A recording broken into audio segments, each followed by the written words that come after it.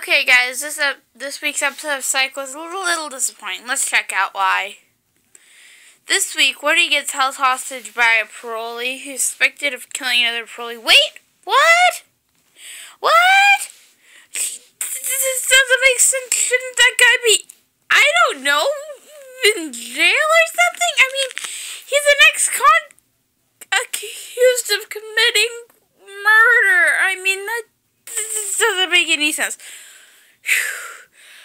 Okay, moving past the contrived plot. Okay, this episode's focus heavily is on six main characters. Woody, Shawn,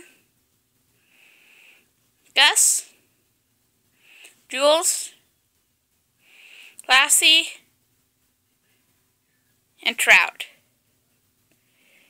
Okay, first of all, this is probably the best Woody episode. I liked him so much. He wasn't just there for, for comedic effect like he is in Deez Nups and Last Night Gus. He's actually played the central point in the narrative like an autopsy turvy. Three check marks. Yes, they don't look like check marks, but they are check marks. Okay. Shawn was a little weak, which is depressing. One check mark. Gus was Gus was on point in the in his role of knowing the odds and ends of everything. Three check marks. Um, Juliet was a little sad. It was disappointing that they dumped her ability to think on her feet for the purpose of the narrative. One check mark. And I was fine with Lassiter's performance. I mean, it wasn't spectacular, but it's what I really expect from Carlton, you know what I mean? So I'm going to give it two check marks. Leslie Trout. I really, really hate this character. He's mean for no reason. Unlike Greg House or Carlton Lassiter, he has no reason for his attitude. Lassiter is supposed to be this way because he's a detective. He's supposed to hate nonsense. Uh, and House is physically disabled and sees other doctors' mistakes. But he's incredible. he's also an incredible emotional pain. But Trout is just mean. He just doesn't even care. So, frowny face. But I have to do have to give it to them that he was pretty on point. I think this is what his character was meant to be.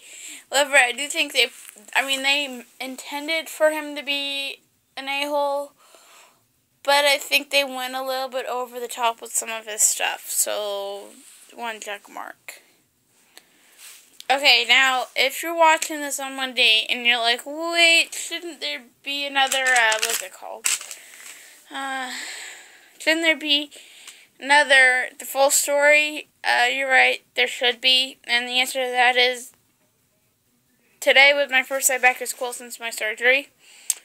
So, I really didn't have time. I just had some stuff that I wanted to get done. I wanted to rewrite the script and reorder it and stuff like that. Check on more stuff to do, better timeline, stuff like that. Um, so maybe that video will be up tomorrow. I don't know. Maybe we don't have school tomorrow, so I'm hoping it can be up tomorrow.